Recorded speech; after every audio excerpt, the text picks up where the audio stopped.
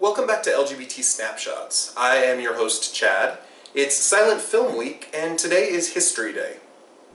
William Billy Haines was born in 1900 and grew up in a nice, large Christian family.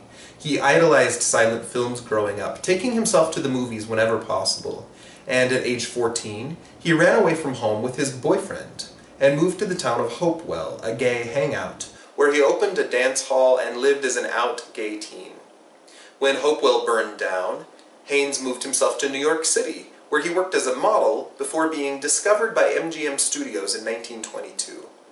Haines signed a contract, moved himself to Hollywood, and became a leading man in silent films, famous for movies such as The Midnight Express and Brown of Harvard, within just a few years. In 1926, Haines fell in love with Jimmie Shields, and the two men entered a long-term committed relationship, soon moving in together, although they were still sexually involved with other men in an open relationship during the course of their time together. Haines successfully transitioned to sound films and received top billing on several movies. But when he was arrested in 1933 for being sexually involved with another man, Louis B. Mayer, the president of MGM, gave Haines an ultimatum. He would either marry a woman and give up on his boyfriend Jimmie, or he would be fired and blacklisted in Hollywood. Haines chose his boyfriend, and he was never allowed to star in pictures again.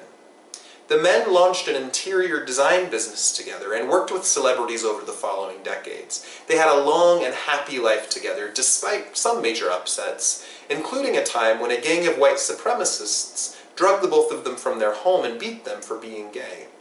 Haines also served in World War II. Haines and Shields were together for nearly 50 years. After Haines died of lung cancer in 1973, Shields committed suicide by overdosing on sleeping pills just a few days later, unable to live without his lifelong love. Joan Crawford once described the two men as the happiest married couple in Hollywood. Thank you for watching. If you learned something today, please like this video, subscribe to our YouTube channel, and share this with your friends. And we will see you back here tomorrow for Transgender Day.